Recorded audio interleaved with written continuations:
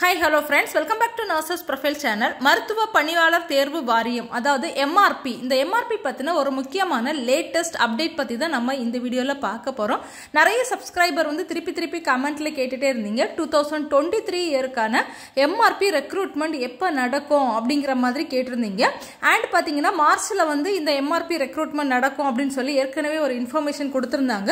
So இப்போ ரீசெண்டாக அது பற்றின ஒரு அப்டேட் வந்திருக்குது. அது என்ன அப்படிங்கிறது பார்க்கலாம். நம்மளோட அமைச்சர் மா சுப்பிரமணியம் அவங்க கள்ளக்குறிச்சியில் ஒரு பிரஸ் மீட்டிங்கில் சொல்லியிருக்காங்க. மருத்துவர் துணை சுகாதார ஆய்வாளர்கள் மருந்தாளர்கள் மற்றும் உதவியாளர்கள் என ரெண்டாயிரம் மருத்துவ பணியாளர்கள் மாநில மருத்துவ பணியாளர் தேர்வு வாரியம் மூலம் தேர்வு செய்யும் பணி பத்து தினங்களில் முடிவாகும் என மக்கள் நலவாழ்வுத்துறை அமைச்சர் மா சுப்பிரமணியன் அவர்கள் கள்ளக்குறிச்சியில் தெரிவித்தார். அதாவது எம்ஆர்பி மூலமாக ரெண்டாயிரம் பர்சன்ஸை வந்து ஹையர் பண்ண போகிறாங்க அப்படிங்கிற ஒரு இன்ஃபர்மேஷன் கொடுத்துருக்காங்க. ஸோ இதில் வந்து five hundred doctors five hundred health inspector and five hundred assistant and five hundred pharmacist அப்படின்னு சொல்லியிருக்காங்க.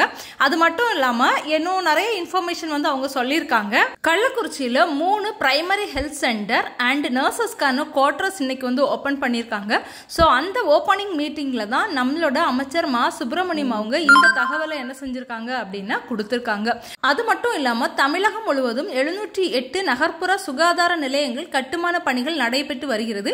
இதில் ஐநூறு நகர்ப்புற சுகாதார நிலையங்களில் கட்டுப்பான பணிகள் முடிவடைந்து தயார் நிலையில் உள்ளது.